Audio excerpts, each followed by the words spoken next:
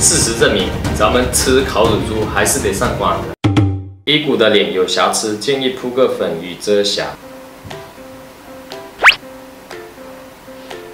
这人到了十八岁啊，就容易长这些俗称青春痘，所以小哥哥小姐姐见谅一下。小伙伴们，大家好，我是一股水源。最近我想大家深有体会，用古人的话讲就是“食以鱼贵，无食不起”。这个屎真的是越来越贵了，估计再这样下去的话，大家真的只能吃得起榨菜。其实这些题材我早就有想拍，不过实在于心不忍。但是今天有小伙伴的推荐，所以小猪啊小猪，我知道你刚来世上没多久，如果要怪的话。连他一起怪吧。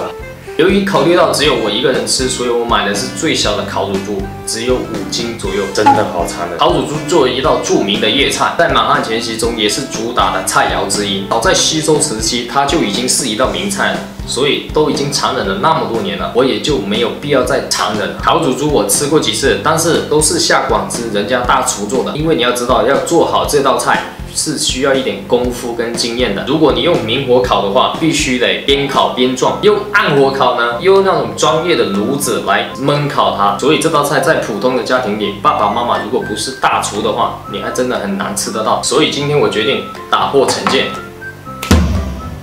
用这种普通的烤箱来制作这道名菜，纵使我有过这样的历史，但是身为广东靓仔，我有决心让这道名菜平民化。本来我是想在网上查一下有相关的资料，有没有烤乳猪在烤箱烤的，没有，所以这道菜我命名为烤乳猪靓仔青春版，还是有点残忍。我们先将乳猪从中间劈开，去除多余的器官，挖掉脑浆，割开猪肋排，大腿砍几刀，方便入味，撒上盐跟二锅头。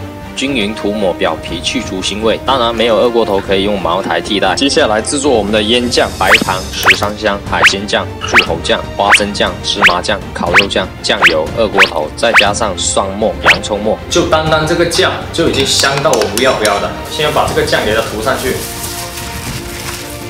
涂好，腌上一个小时后，考虑到我们烤箱的大小，得给它的腿脚捆绑一下。为了不再烤焦，我们先用锡纸整只包住，彻底烤熟后，再除去锡纸，翻面，刷上小苏打水，再烤至金黄。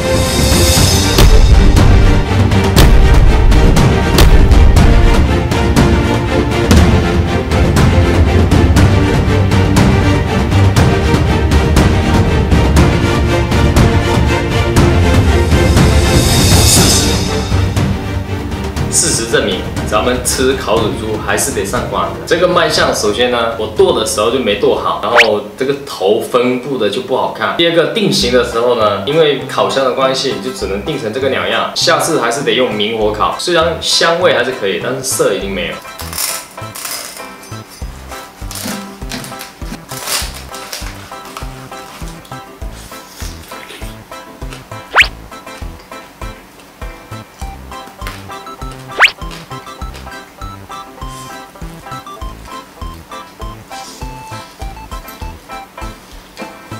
味道呢，真的是没得说。